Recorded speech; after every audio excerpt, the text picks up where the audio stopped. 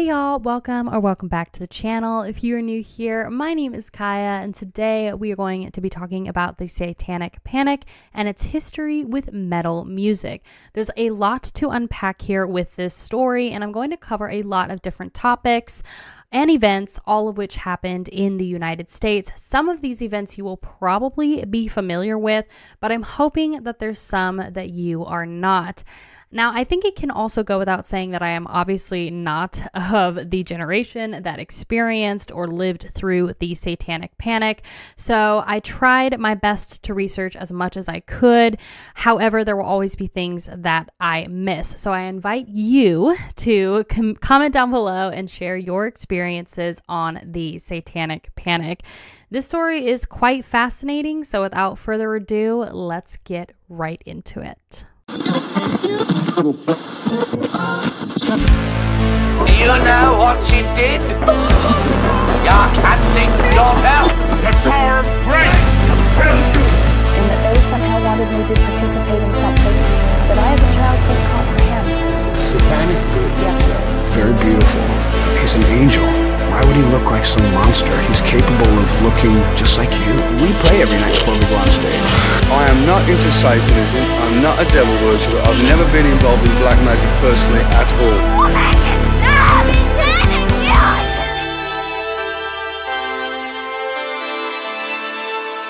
What an excellent day for an exorcism. Before we get into the juicy bits of the 1980s, in order to provide context, we are going to have to rewind the clock a little bit first. So grab your bell bottoms, put on your flower crown, and let's rewind to the 60s. There were many breakthroughs for music, culture, and history during the decade of the 1960s. Not only was there the presidential assassination of John F. Kennedy in 1963, followed by the civil rights movement a year later in 1964, there was also the Vietnam War in full effect during this entire decade, which was closely tied with the birth of the hippie movement. Millions of young adults and teenagers were creating a counterculture built on drugs, rock music, and sexual liberation. Music was beginning to blossom into something the world had never seen. Bands such as the Beach Boys and the Beatles were releasing iconic records during this time, such as Pet Sounds and the White Album. These albums would define the standard for what an album should be, with higher production and sound quality, more songs, and an overall better listening experience. This created the name we now know of as the long play, or LP for short. During this late 60s era, Led Zeppelin debuted with their self titled record in 1968, and Led Zeppelin II in 1969. Many declare this latter album as being the very first heavy metal record. Led Zeppelin was also one of the earliest bands to be accused of devil worshipping and having satanic messaging in their music. Led Zeppelin's guitarist had an obsession with the works of Aleister Crowley, one of the most famous occultist writers of all time. Jimmy Page owned a ton of Crowley's manuscripts and even purchased the Boleskine House in Scotland, which Crowley had once resided in. Page also sometimes wore occult symbols while performing on stage. We can also talk about Woodstock and Jimi Hendrix in his prime, but among all of this flower power in the 1960s, there was a much darker, more sinister presence lurking. This is where I believe the true birth of modern satanic culture began. In 1966, the very first Church of Satan was formed in San Francisco, California by Anton LaVey. Anton LaVey was an American musician, author, and Satanist who also went on to publish several books, his most notable piece being the Satanic Bible, which was published in 1969. The Satanic Bible is a collection of essays, observations, and rituals. It is a central religious text of LaVeyan Satanism and is considered the foundation of satanic ideology and beliefs. It has been described as the most important document to influence contemporary Satanism. That same year, Charles Manson Manson, famous American cult leader to the Manson family, along with some of his cult members, committed a series of at least nine murders in California, terrorizing the state with maximum media attention. Now, it's not lost on me that the storylines of both Charles Manson and Anton LaVey's are based in California, and throughout my research, it was quite eerie to realize that many of the topics I will be discussing in today's video are based in California. What are the chances of these two famous cult figures both being in the same state at the same time? Both promoting the occult and bringing it to the awareness of the public and the media in well documented media pieces. This could spark the conversation of Hollywood being satanic, but that is an entirely different Easter egg.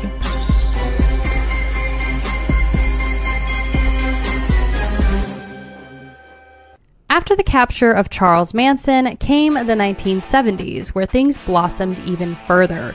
I will give Led Zeppelin credit for helping to lay the foundation for heavy metal music at such an early time, but in terms of metal, the most iconic first release for the entire birth of the genre has to be the release of Black Sabbath's self titled record, which came out in February of 1970. After the release of this album, rumors began to spread of Black Sabbath being a satanic band and being involved in the occult.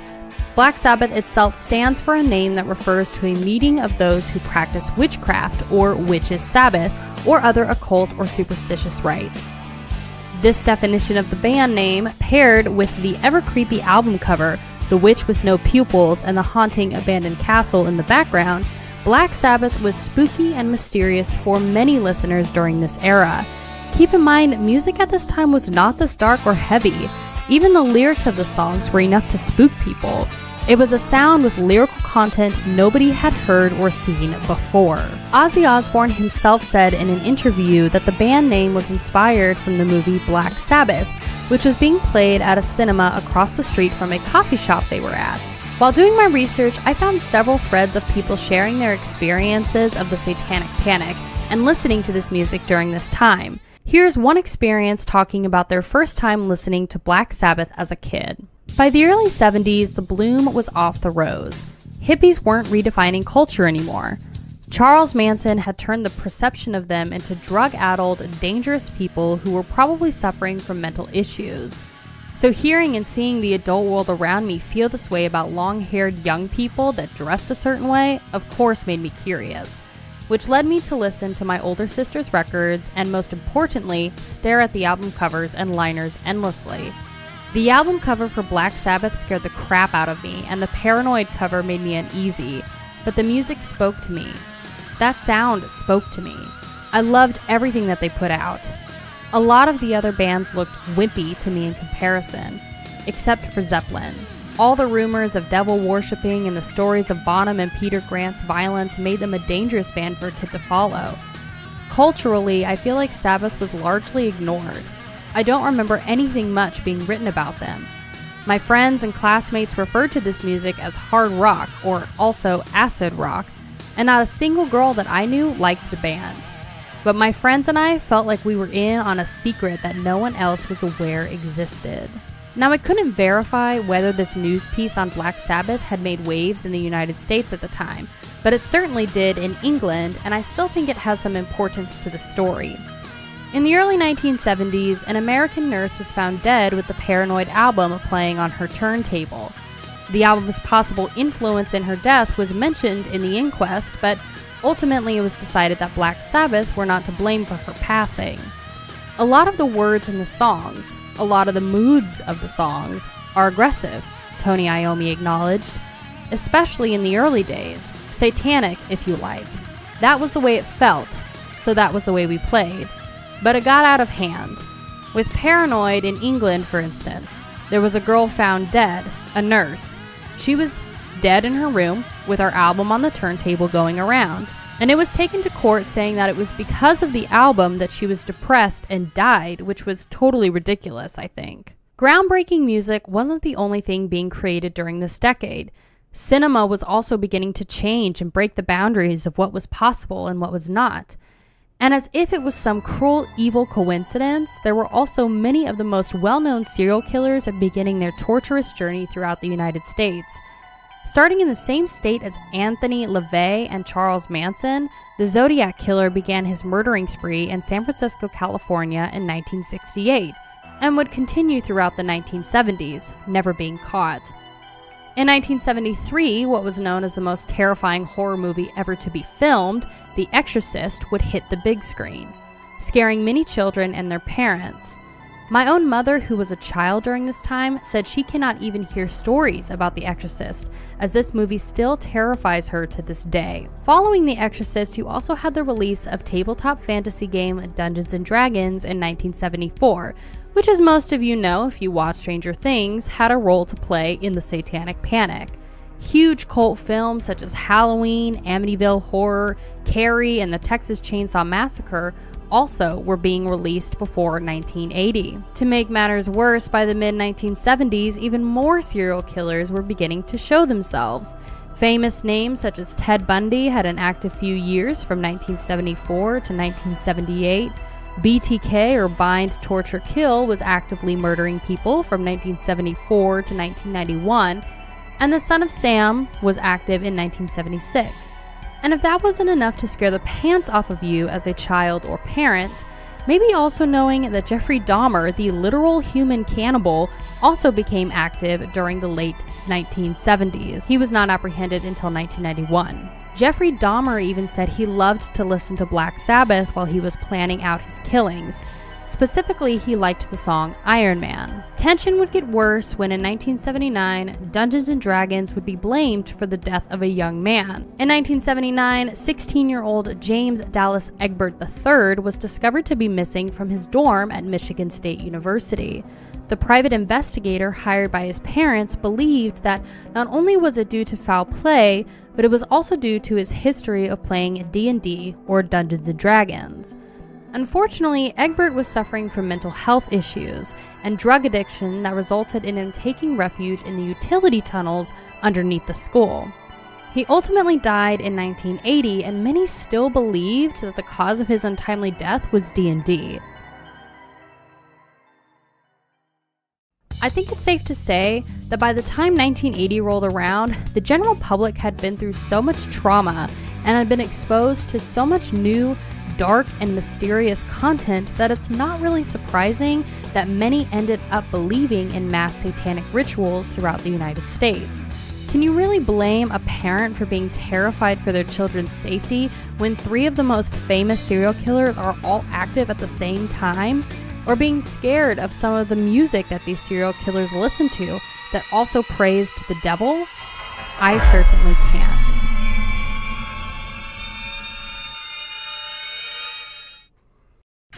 The 1980s. Probably the most iconic decade for fashion, cultural icons, movies, and music.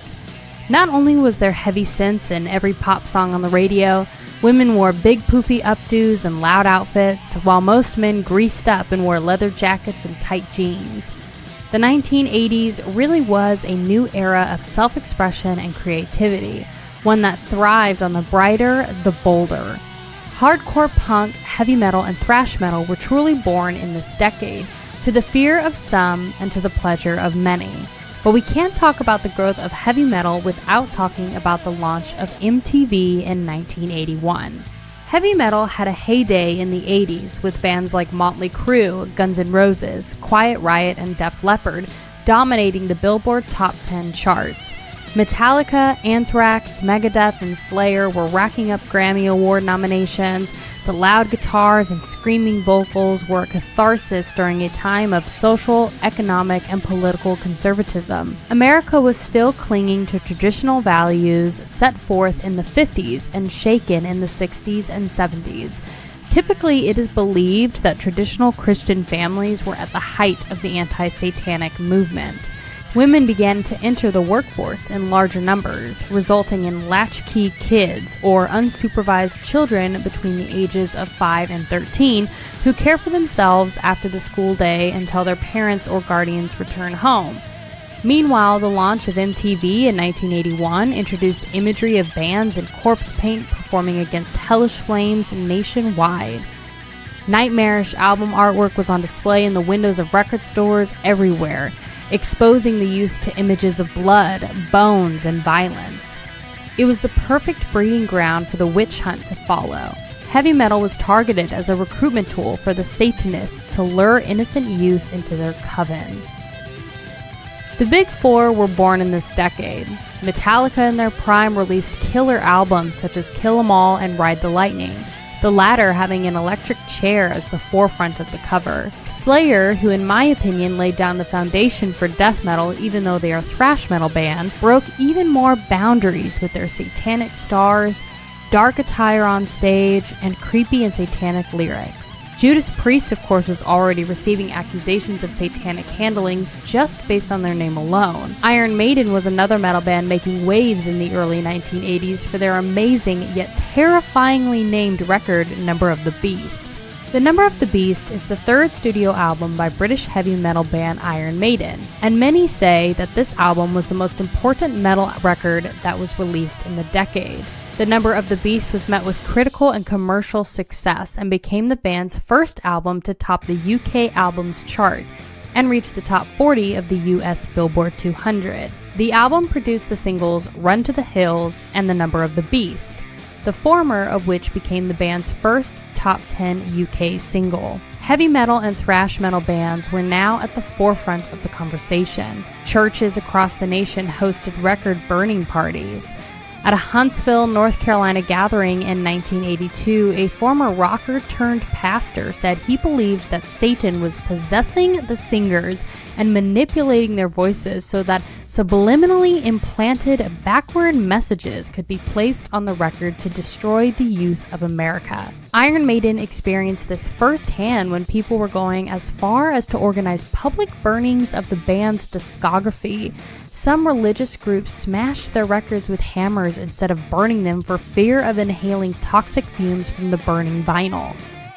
Venues were sometimes surrounded by activists who handed out leaflets, and in one case, a 25 foot cross was carried in protest. Steve Harris, the bass player of Iron Maiden, has stated, It was mad. They completely got the wrong end of the stick. They obviously hadn't read the lyrics. They just wanted to believe all that rubbish about us being Satanists. Interestingly enough, however, even though the band did not claim to do anything satanic, music press reports told stories of unexplained phenomena occurring during the sessions at Battery Studios while Iron Maiden was recording The Number of the Beast. Phenomena such as lights turning on and off their own accord and the recording gear mysteriously breaking down. These odd occurrences climaxed when Birch was involved in a car accident with a minibus transporting a group of nuns, after which he was presented with a repair bill for 666 pounds. Fans were accused of backmasking, which is the practice of hiding subliminal messages in their music that can only be heard when you play the song backwards. The concept dates back to the Beatles' White Album, with claims that if you play Revolution 9 backwards, you hear the message, Turn Me On, Dead Man.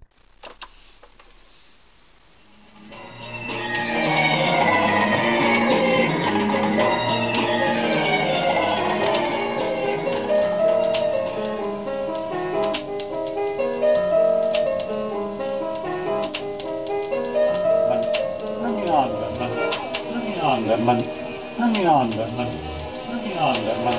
Hang on, man.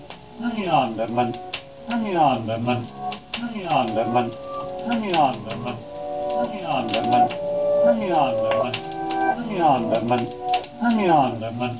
Let me on, Batman. In 1981, a Michigan based minister, Michael Mills, accused the band Led Zeppelin of burying satanic messages in their 1971 single Stairway to Heaven. The messages contained in the song included Master Satan, serve me, and there's no escaping it. There's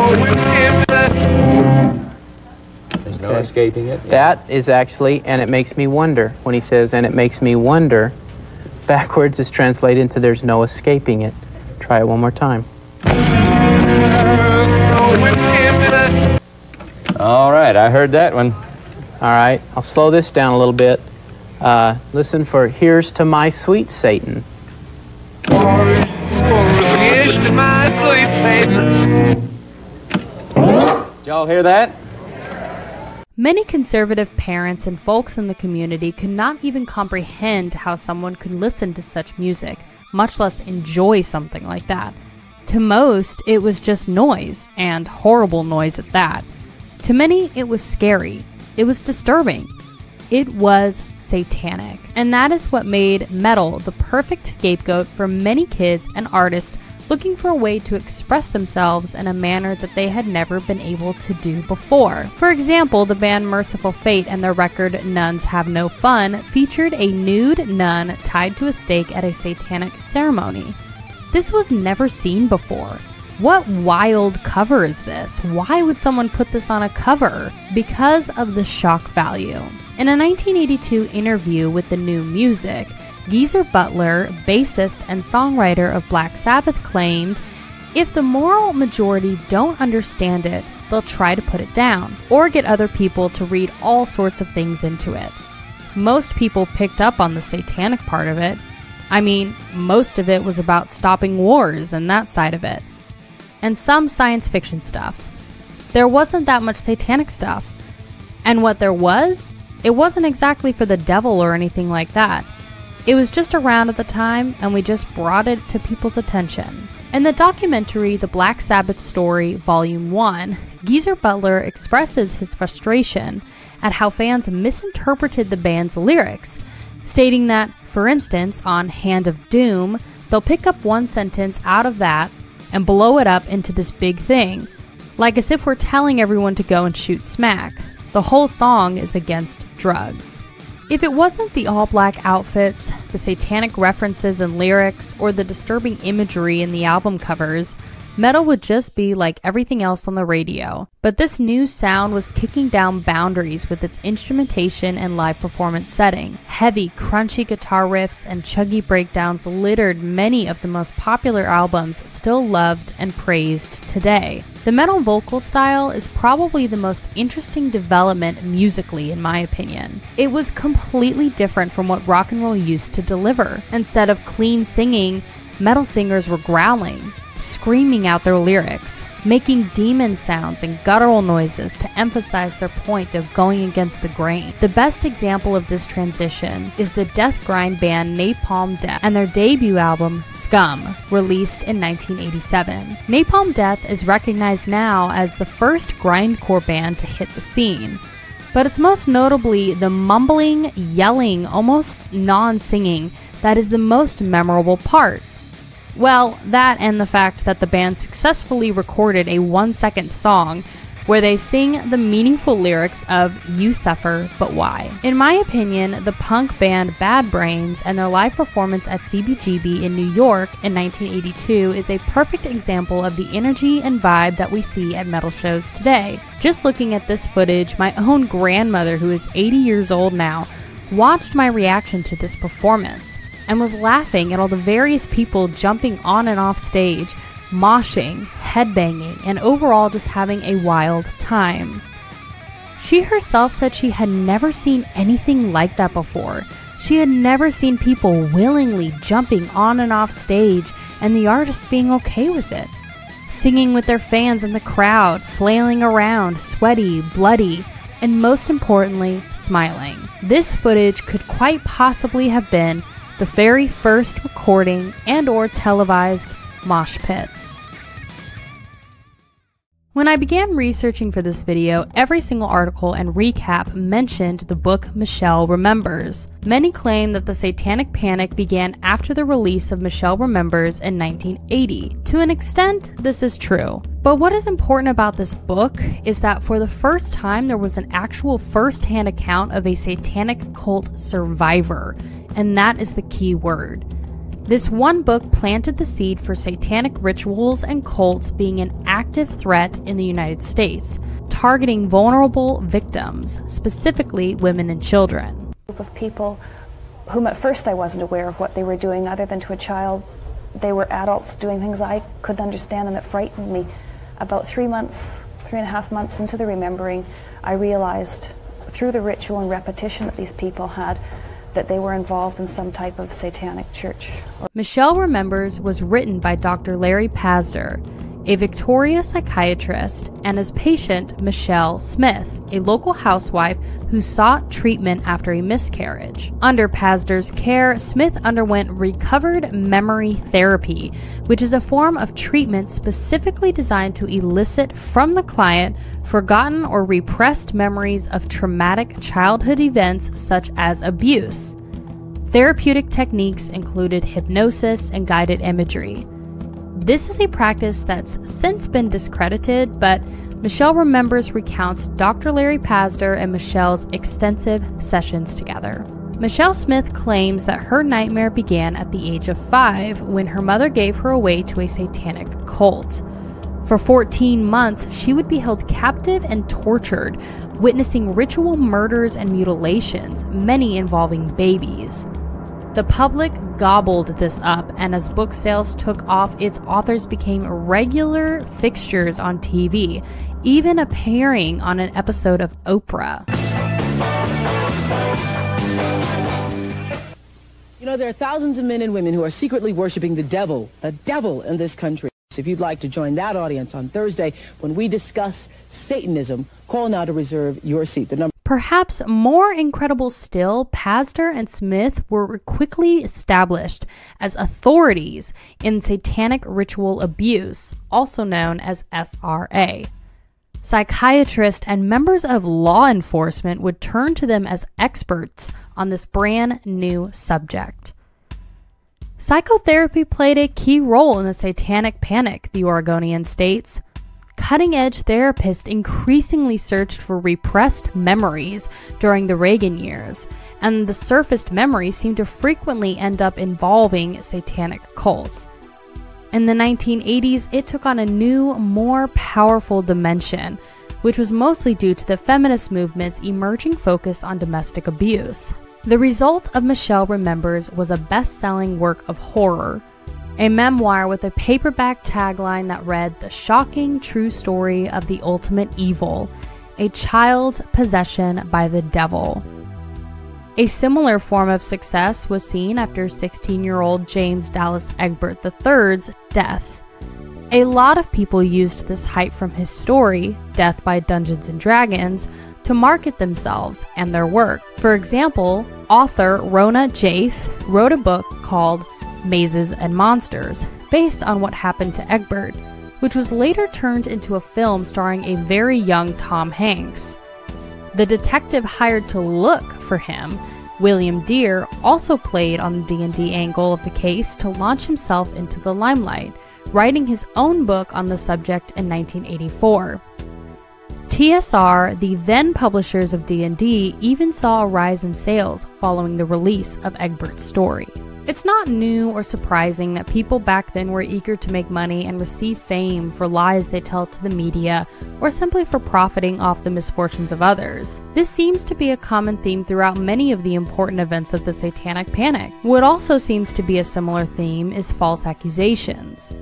Many companies and many innocent people were being accused of either being in the occult or doing certain things that cultists normally do usually involving some sort of abuse. But I also want to be clear there were many horrible people who committed crimes throughout the Satanic Panic where the public accused them of being a part of the occult when they were simply just creepy, horrible, murderous people.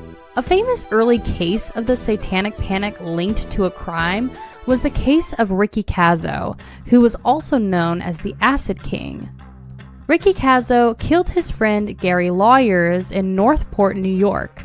Kasso had an interest in the occult and would talk to his friends about Anton LaVey's book, The Satanic Bible. But his friends would deny that he was interested in the occult and said it was more about being edgy and offending people in the community. Kasso also had a group of friends who called themselves Knights of the Black Circle and were accused of being a satanic cult though there was no evidence to prove this. At the time of his arrest, Ricky Kasso was wearing an ACDC shirt and was a fan of Judas Priest and Black Sabbath. This obviously did not sit well with many people in the community. He died in June of 1984 after just two days of being in jail for the murder of his friend. There were many crimes during this time that were blamed for Satanism, For example, in 1984, a crime was brought to trial in Vancouver for Miss Gail Lorraine Ray for the shocking murder of her six year old daughter. Ray, known as Big Gail, said she held a plastic bag over her daughter's face while trying to remove a piece of pepperoni that had become lodged in the girl's throat. I tried to get her to respond in every way I could, Ray said. I figured I'd put a plastic bag over her face and get her to at least gasp for air, and she didn't. The jury didn't buy it and quickly found the woman guilty of first degree murder. Prosecution witnesses during the trial testified that Ray was a high priestess in a satanic cult. Another story was there was a cult led by a drug dealer named Adolfo Constanzo. Cult members murdered more than a dozen people near the US Mexico border in the late 1980s. They reportedly believed their ability to tap into satanic powers would make them invisible and bulletproof. The first part of Mark Kilroy to be found four weeks later was his brain. People magazine wrote of the search for one of the cult's victims. It turned up in a black cauldron and it had been boiled in blood over an open fire along with a turtle shell, a horseshoe, a spinal column, and other human bones. His ritual death and dismemberment had been carried out in service to religion, a bizarre, drug demented occult religion practiced by an American marijuana smuggler operating out of Mexico. Constanzo was later killed in 1989 by some of the cult members on his own order as police closed in on them. If all these various murder stories weren't enough, you will be shocked to find out that even more of the most famous serial killers were beginning to rampage the United States as well. Famous names such as the Night Stalker, the Ripper Crew, and the Fall River Killers. Everything escalated to a peak during the mid to late 1980s. People were afraid. Parents were afraid. Many law enforcement officers began creating special training videos to help others identify signs of satanic cults and cult like behavior. Here would be cut where the blood would have been drained and oftentimes there's wax laid on it to cover it up afterwards, after the body um, has uh, deceased. There were massive witch hunts of everybody, including companies like Procter and Gamble, otherwise known as P&G, who own the laundry detergent brand Tide. P&G were accused of having a satanic company logo. It was so bad that there were many states that were passing laws to help protect children from ritual abuse. This moral panic similarly saw large swaths of the country swept up in the belief that hostile outside agents sought to steal children in mass in order to abuse and or kill them as part of a practice of devil worship. This baseless idea even ensnared some lawmakers, leading to passage in the Missouri General Assembly of House Bill 1370 in 1990. This is a quote from the Missouri Legislative Library. This brings me to probably the most famous satanic panic case that actually went to trial. It's even considered the longest and most expensive criminal case in the history of the United States legal system, where there were ultimately no convictions. This is the McMartin Preschool story. It was 1983 in Manhattan Beach, California, when Judy Johnson, mother of her two and a half year old son, who attended McMartin Preschool for about 10 days, came to detectives and told them that the owner's 25 year old son, Ray Buckey, abused her son. Despite the fact that the young boy was unable to identify Ray from photos and medical investigations of the boy showed no signs of abuse, the police searched Ray's home and found evidence to support their claim. Their evidence included a rubber duck, a teddy bear, and a Playboy magazine, among other things. Ray Buckey was ultimately arrested on September 7, 1983. The next day, Police Chief Harry Kuhlmeyer sent out letters to 200 McMartin preschool parents asking them to question your child to see if they have been witness to a crime or if they have been a victim. Judy Johnson's story of the McMartin preschool would become increasingly bizarre when she claimed that Ray's mother, Peggy Buckey, was involved with the satanic cult. She claimed that Peggy Buckey took her son to a church where the boy was made to watch a baby being beheaded and then was forced to drink blood. There were a variety of other lucrative things she claimed Ray did, including prancing around the school in a Santa Claus costume. Eventually, most prosecutors realized that Judy Johnson was building her story around paranoid delusions. However, this did not stop the district attorney from pressuring the parents of McMartin preschool students into sending their children to two hour interviews with the CII, or Children's Institute International for Examination. The CII is an agency that focuses on the treatment of abused children. These children generally denied seeing or hearing about anything at first. However, after much pressing, eventually many gave the detectives at CII what they wanted to hear. This resulted in 384 former McMartin preschool students being diagnosed as abused. On March 22, 1984, a grand jury indicted Ray Buckey and his mother, Peggy Buckey, his sister, Peggy Ann, Virginia McMartin, who's the founder of the preschool 30 years earlier, and three other McMartin teachers. The grand jury initially indicted the McMartin Seven, as they were called, on 115 counts of abuse. Two months later, an additional 93 indictment counts were added, as District Attorney Robert Philibosian pursued his strategy of hyping the McMartin case to boost his chances in an upcoming primary election. In June, bail for Peggy Buckey was set at $1 million. Ray Buckey was held without bail. Searches of the McMartin preschool and the homes of defendants failed to produce much incriminating evidence. No photographs were discovered, despite the insistence of investigators and parents that such photography was commonplace at McMartin. No evidence was found of the secret rooms where massive instances of abuse were said to have taken place. In March 1985, a group of nearly 50 McMartin parents began digging at a lot next to the school, determined to unearth the secret tunnels. A few days later, the parents were joined in their efforts by an archaeological firm hired by the district attorney's office, and yet still, no secret rooms were ever discovered. The defense repeatedly tried to raise questions as to how abuse on such a massive scale could have gone undetected for years and suggested that much of the testimony of the prosecution's child witnesses was flatly unbelievable. They aggressively cross examined a parade of prosecution witnesses, including allegedly abused children, McMartin parents, and therapists and medical experts. After two trials that resulted in a deadlocked jury and a mistrial both times, the district attorney chose not to retry Ray Buckey a third time, and all charges were dropped on him, his mother, and the rest of the staff from McMartin Preschool. In the end, this entire trial lasted seven years and cost a whopping 15 million US dollars. But this was just the beginning.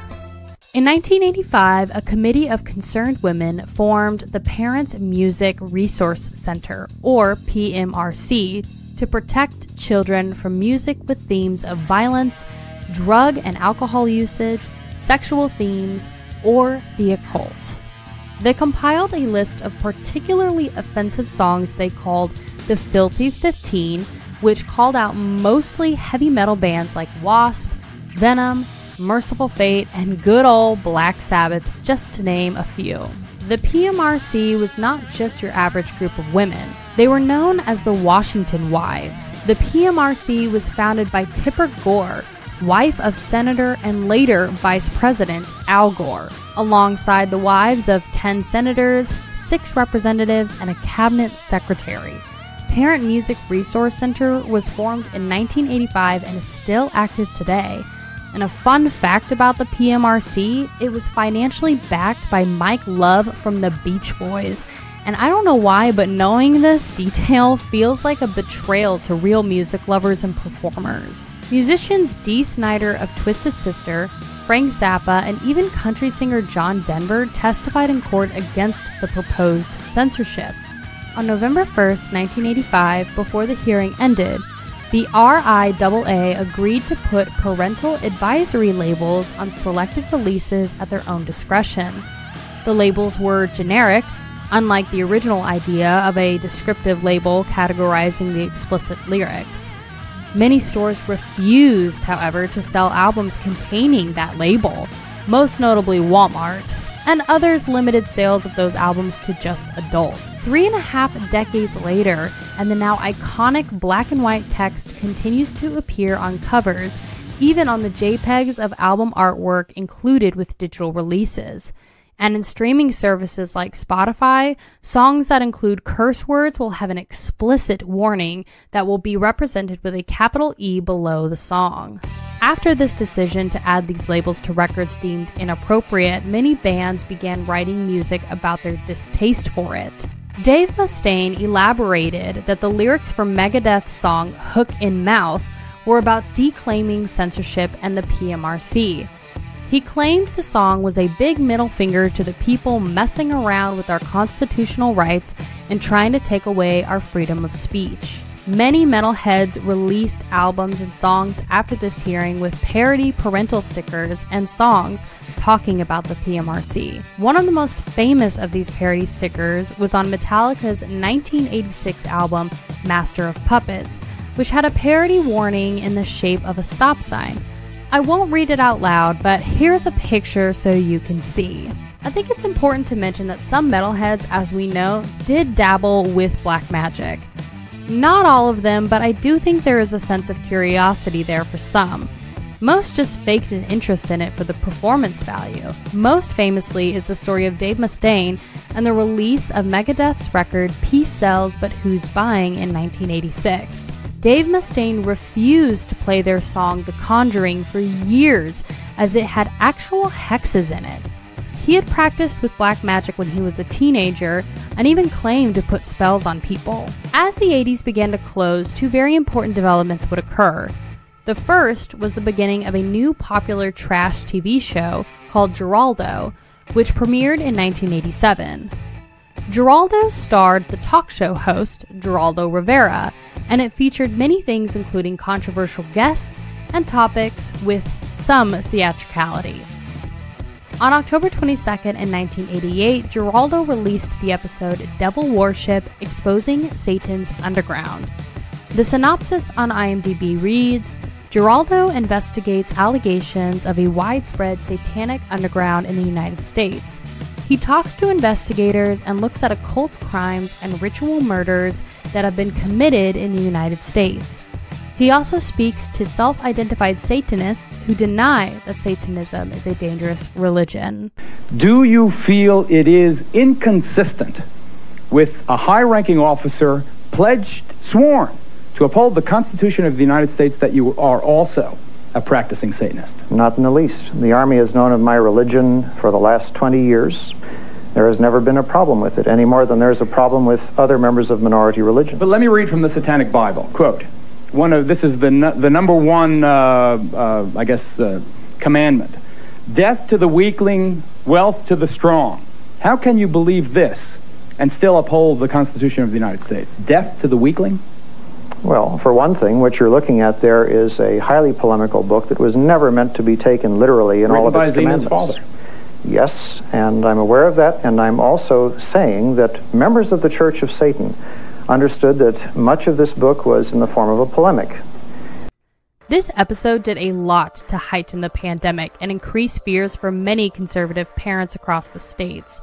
Geraldo basically said heavy metal and certain crimes were examples of mass amounts of Satan worshippers around the US. Geraldo also blamed Iron Maiden's Number of the Beast record for increasing Satanism amongst the youth. At the time, Geraldo's Satan episode brought NBC News the most views for a two hour documentary. You start doing all this devil worship crap because that's not my intention. Although I have sang on a few songs about the devil, you know, that's about it. You know, I, I don't want anyone to harm themselves. However, it did lose a lot of advertisement interest just because of the subject matter, and advertisers did not want to be associated with satanic things. kind of persecuted by everybody because I'm not a bad guy. I'm, I'm, my intentions are not to harm anyone. In fact, it's, it's directly the opposite. Like when people come to my concerts, I want them to have a good, fun evening out, you know. And it's, it's, it seems to me that a lot of people judge the book by the cover more, more so, they, they write things about me, well, they don't even know that talk, what they're talking about, you know. The second development that came in the late 1980s was the birth of the death metal genre. This is my personal favorite genre of metal, and it's also one of the more extreme. For those that are familiar with death metal and where its roots began, most of the well known and famous death metal bands began recording and releasing music in Florida. Some of these household Floridian names included Death and their debut Scream Bloody Gore, which was released in 1987, Morbid Angel and their release Altars of Madness in 1989 and Obituary with their debut Slowly We Rot in 1989 as well. All of these bands further increased the overall satanic and death message that had been paved for them by previous glam metal and heavy metal bands. I think it's quite ironic and hilarious that bands that are considered safe now, such as Guns N' Roses and Motley Crue, paved the road of Satanism and metal music first before bands literally called Death, Possessed, and Obituary did. Death metal was much different than typical metal of the 80s. Like Napalm Death's record Scum, death metal had an intensity that wasn't for everyone. Slowly We Rot by Obituary also had the mumble metal singing that was featured with Napalm Death. Extremely deep demon style vocals layered every track, Guitars were massively filtered, everything was heavy, and everything used subliminal messaging throughout. And in June of 1990, the first true satanic death metal band, Deicide, would release their debut self titled album, To the Horror of Most, but to the Love of Many.